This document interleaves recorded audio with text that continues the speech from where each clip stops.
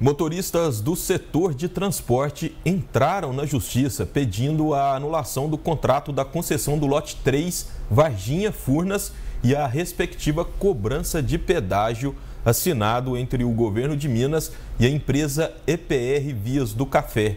A cobrança em seis praças de pedágio da região está prevista para começar hoje, nesta sexta-feira. A ação foi impetrada levando em conta pontos como a, sus... como a suposta ilegalidade e abusividade do contrato e da fixação da tarifa, que será de R$ 14,30 por veículo de passeio, R$ 7,15 para motos e R$ 14,30 por eixo de veículo de carga. O documento pede que a concessionária cobre, enquanto ainda pede né, que a concessionária cobre enquanto uma perícia judicial não chegar a um valor adequado, a tarifa limitada ao que é cobrado na concessão federal da rodovia Fernão Dias, que hoje é de R$ 2,90 para carros e por eixo né, de veículos de carga e R$ 1,45 para motos. O advogado dos moradores de Varginha que entraram com a ação Cláudio Miranda Souza, ele questiona os valores considerados abusivos. Primeira coisa que a gente questiona é por que é, o valor da tarifa é tão alto. Porque o valor do pedágio é 14,30 para quem é usuário de transporte comum e é muito mais caro para os outros setores, principalmente os é, ônibus, caminhões. Por que, que esse valor é tão alto? Hoje, compensa mais ir a Belo Horizonte do que vir a Três Corações. Isso vai impactar profundamente várias empresas, vários setores econômicos. A cidade vai ser altamente penalizada.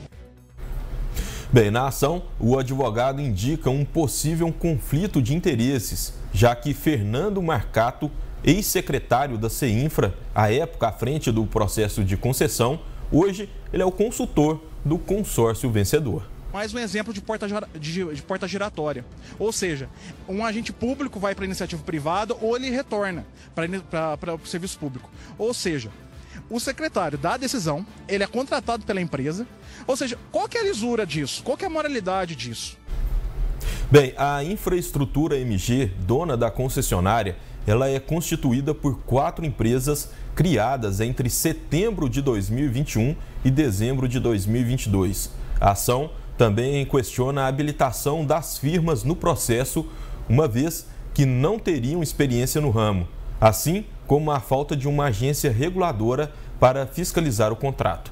A Justiça acatou a ação popular, ou seja, pediu as respostas para a EPR Vias do Café e também para o Estado de Minas Gerais. Depois disso, irá avaliá-las e decidir se dá ou não a liminar de tutela de urgência. Se concedida a liminar, a cobrança dos pedágios pode até ser suspensa. O ERIC representa a cooperativa de transportes autônomos de vans utilitários e caminhões pequenos, a Cooper Express de Varginha. Ele acredita que o impacto do serviço deverá ser muito danoso ao setor viável para a nossa população, ainda mais nosso município de Varginha, que é uma cidade polo, que traz muitas pessoas da região, e um valor de 14 e alguns centavos e fica muito inviável e vai impactar o setor consumerista. Porque o, o valor que hoje tudo depende do transporte, infelizmente, vai impactar nos produtos. Então vai, vai impactar dentro de casa, né? E assim, em toda a cadeia em geral, né? O ex-secretário da CEINFRA, Fernando Marcato, disse que tomou conhecimento há pouco tempo dessa ação e disse que o nome dele é citado de maneira leviana, já que ele não é parte da ação. Ele diz também que não participou do leilão das rodovias do sul de Minas e que quem estava à frente da CEINFRA já era o atual secretário.